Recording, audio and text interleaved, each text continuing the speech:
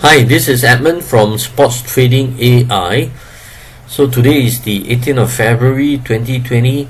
Uh, let's take a look at a matchup between um, Amateur Reserves uh, versus Doncaster Reserves. Okay, for the English uh, Reserve League.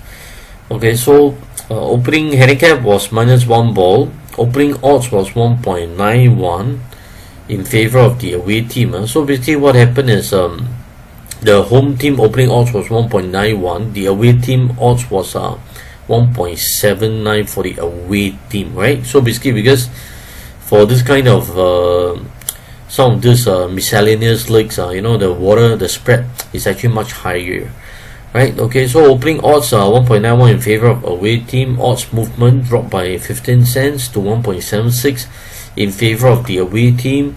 Formula was minus 22 strong away win in favor of the away team. And then for goal scoring average uh, you can see that it was a 1.33 versus 2 so the away team actually got a better goal scoring average.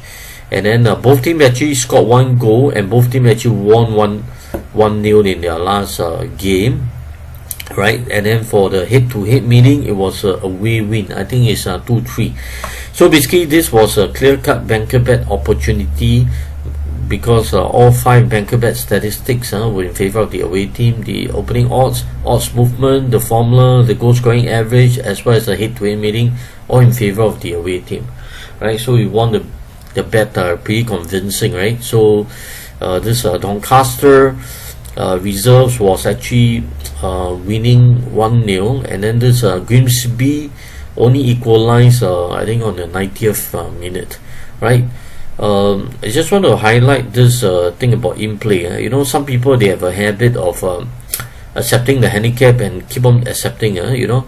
Uh, for away teams are normally not advisable home teams certain scenario you can actually chase but then for away team not advisable because like I mentioned the home team will always try to to uh, get at least a draw for the games right?